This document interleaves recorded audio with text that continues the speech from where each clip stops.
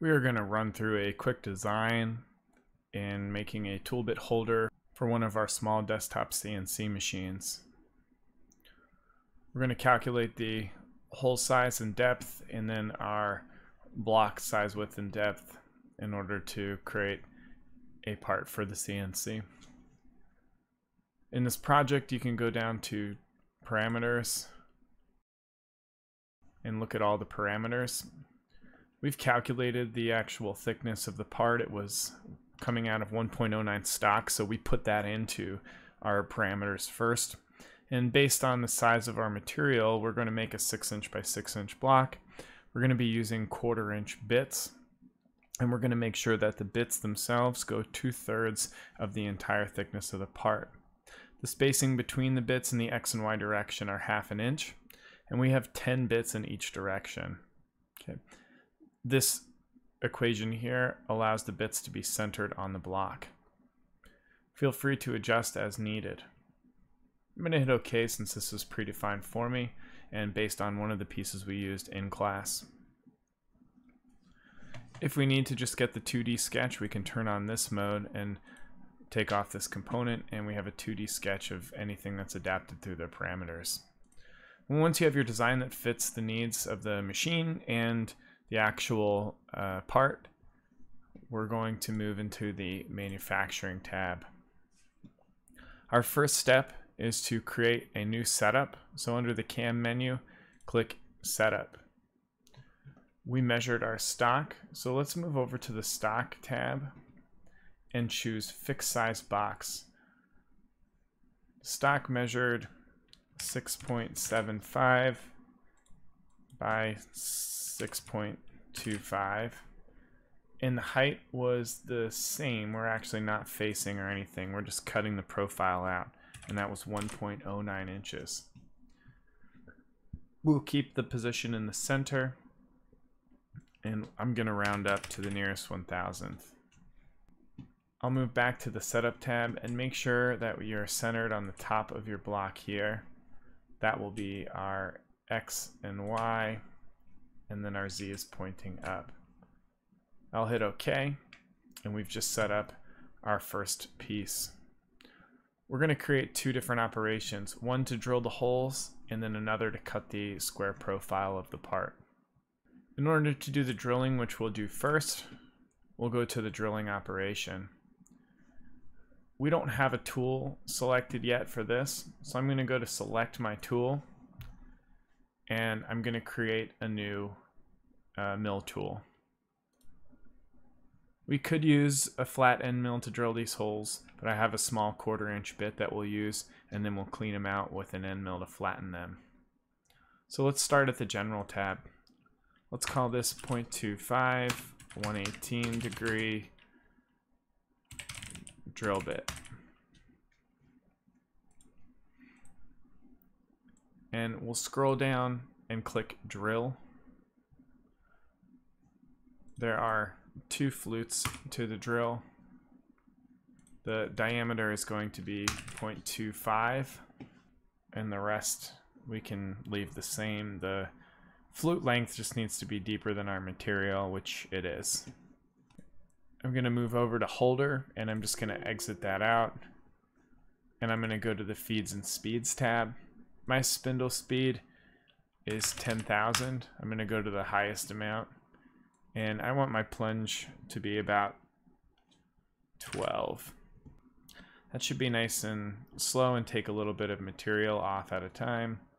For the post processor, we're going to call this tool number 5 and I'm going to disable coolant. I'm calling this tool number 5 for now because I have a few tools already in here and I'll know that when it asks for 5 it's my quarter inch drill bit. I'll hit OK. Now I have that drill selected. I'll hit OK again. And again, there's my quarter inch drill. I'll move to the geometry tab next. I'm going to click one of my holes only and then click select same diameter. All the holes should be the same, so it should select all of the holes. I'm going to choose the heights tab, and I like to rotate my object to the front face. And here I can see that the tip of my drill bit is going to leave a small, and I want to go a small angle, and I want to make sure that this is flat. So the bottom is going to be hole bottom. In order to see this well, you can go to display settings and visual style, and we can do wireframe with hidden edges. Now we can see the bottom of the hole. I'm actually going to offset this in the positive direction by 0.01 and that'll raise my drill bit off the floor a little bit. My top height is my hole top. My feed height and my stock top and retract height can stay the same. And I'll move to my cycle. We're going to do drilling and we'll do deep drilling, full retract. It asks for a pecking depth. So how far is each one going to go? And 0.05 is fine for now. Okay. If we wanted it to sit in that hole, we could do a dwell, but we're not going to do that. We're going to peck and come up, peck and come up, and make sure it fully clears. We'll hit OK, and that should formulate our part. If we pull back, we can see all of our holes and all of our operations. I'm going to change my visual style back to shaded with visible edges. I'm going to right click my drilling operation and hit create derived operation. Click the drill and I'm going to go back to my tool and change my tool, add another tool, and I'm going to call this tool number six. And this is going to be a flat end mill. This has two flutes and we're using a spiral upcut bit. The diameter is also 0.25 and my flute length is one inch on this tool. I don't need a holder, so I'm going to remove that. And for my feeds and speeds tab, again, I'm going to bring this to 10,000 RPMs. My cutting feed rate is going to be 16 on this machine, and my ramp can be 9. My plunge can also be 9. That'll take a light pass, but I don't have a powerful spindle on this machine. I'll make sure that it's number six and I have no coolant. I'll hit OK. I'll select that tool. And now I'm going to go to my geometry. It's going to be the same holes. Now my heights, I'm going to remove this offset. And that's going to clear to the bottom. So when I look at that front view again, and I bring up that wireframe view, it goes right to that bottom edge and should flatten out my holes, only removing a little bit of material. I'll move to the next cycle tab and I'm gonna drill through this in one pass. So I'll do drilling, rapid out, and it should clear my part in one quick pass and I'll hit OK. I'm to save this just to make sure those operations stay. My next step is to add the contour for the edge. So I'll go to my 2D and 2D contour. I'm going to use the same quarter inch tool that we just created and I'll move to the geometry tab. I'll change my visual style and where it asks I'm going to select this bottom edge here. Make sure it's the bottom edge and not the top. The next tab in heights, I'll go to my front view and I'm going to be mounting this with bolts and double-sided tape so I don't foresee it moving. I don't need tabs or anything. This is meant to be a simple operation. My bottom height is the selected contours. So that's good. For any unevenness, since we're not facing anything, I'm going to make a negative 0.005 just to bring the bit a little bit below the part. And that'll go into my sacrificial uh, table. On the passes tab, I want to go down to multiple depths and this is where I can set my step downs so I don't cut everything in one part. For my step down, I normally should do about half the bit max, But again, this isn't a heavy duty spindle router and we're cutting some wood. So I'm going to do 0.05 and I can use even step downs. That's all I need to touch. I'm not doing a finishing pass around here. I can sand this part. Scroll back up and I'll make sure everything is the same. Make sure that compensation is in the computer. We don't want to do compensation here. It's whatever's built into the software, which we're not worrying about. We're also making sure that this is climb milling so that we cut the right direction with the bit. In the linking tab, we're just going to select keep tool down. Where it says maximum stay down 2 inches should be fine. We're going to have a slight lead in, so the bit is going to come in and then move into the part in order to reduce any uh, rubbing on the side of the part. We won't select a ramp and we'll just hit OK. We'll let that path generate and we should get quite a few passes moving down our part. We've just finished all of our holes and our 2D contour and we can move to simulation. At the top here, click the simulate or you can right click your setup and hit simulate. We'd like to simulate all of our uh, operations.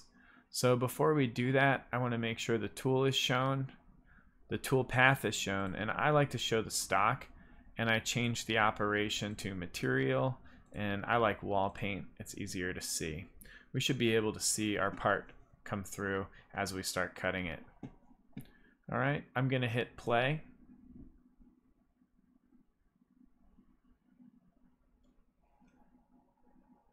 and we can see it's drilling our holes. I'll speed this up because there's a lot of holes. And then once it gets to the milling operation, we'll slow it down.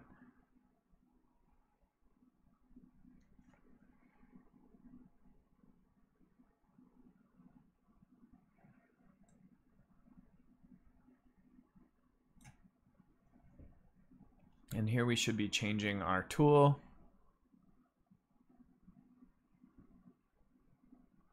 And there's our mill tool coming in and just cleaning out those holes. Should flatten our bottom quite nicely. Again, I'm going to speed this up. And I just want to see how that, see how that moved in quite nicely. This looks like a good speed for now. We'll obviously test it on the machine and tweak as needed.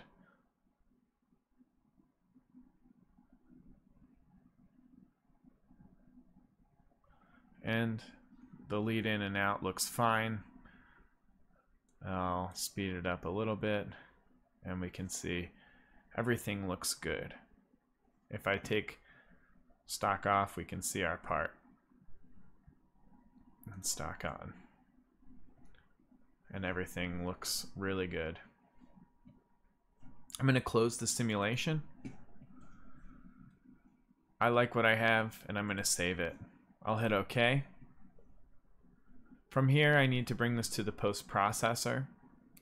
So in order to do that we can right click our setup and hit post process. Make sure you click the whole setup and not one of your operations. You want to post everything. We'll click post process it's asking me for a configuration folder and I have a specific folder on this computer for posts. Your post should line up right here. This is the machine that I'm using. If you have other post processors, they would show up here as well. You can edit your post processor if you hit open config. We're not going to mess with that right now. It's asking us for our output folder. This doesn't matter because when I post, it's actually going to ask me where to save it. We can change things in our post processor here as well. I'm going to leave all this stuff and make sure that my extension is NC for numerical control and I'm not opening my NC because it'll open up brackets. To find your post processor, you can go online to HSM Posts on Autodesk and look for what you're using. We're using the small carbide 3D machine you can just hit download, save it to your folder, and it should pop up right here. I'll click post, And again, it does ask me, I'm going to save this to the desktop and I will call this toolholder.nc. I'll save. And now I can bring that part to, there's my G code. I can bring this G code to the machine and we can see everything looks pretty good to start.